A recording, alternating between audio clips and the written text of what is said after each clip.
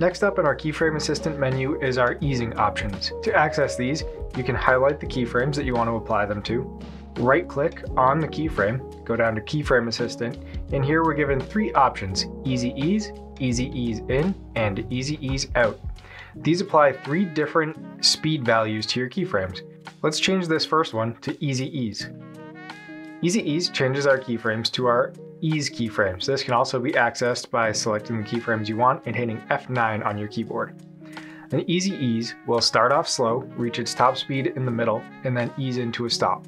You can tell that it's eased because the dots that are on the motion path here are closer together at the beginning and the end, but spaced out towards the middle. And let's take a look at the motion of the easy ease compared to these two that we haven't changed here yet, which are still linear keyframes. So they take the same amount of time to go across the screen, but the motion is very different on the Easy Ease. Let's take this next one and convert it to an Easy Ease In. So we're gonna highlight the keyframes we want, right click, go to our keyframe assistant and Easy Ease In. Now an Easy Ease In changes your keyframes to this uh, little bit of a greater than symbol almost. And the Easy Ease In will start out at a much quicker speed and then ease into a stop towards the end.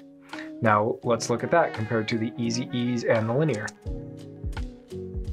As you can see, it takes off much quicker, but then eases into a slow at the end, just like the Easy Ease does.